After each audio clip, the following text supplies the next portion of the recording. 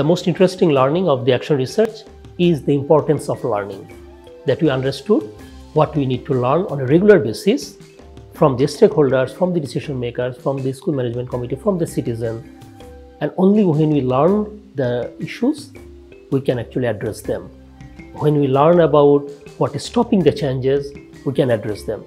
So I think that particular importance of a regular continuous learning and addressing it was the major uh, learning for us. In particular, this action research helped us to understand the key motivating factors of the decision makers to engage citizens and take actions, and how we can involve citizens more in the policy process. For instance, we have identified systematic issues such as unequal budget allocations among schools.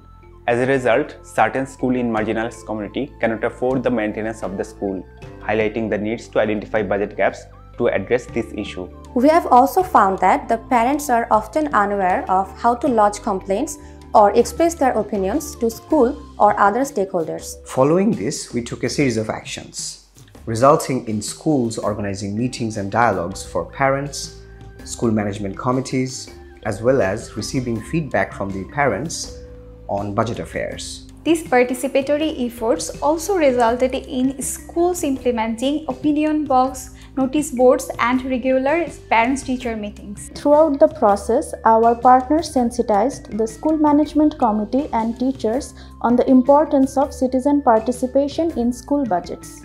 To bring grassroots realities into broader policy discussions, we share our findings with our CSO networks, the Parliamentary Caucus on Justice, and through IID's high-level policy initiatives.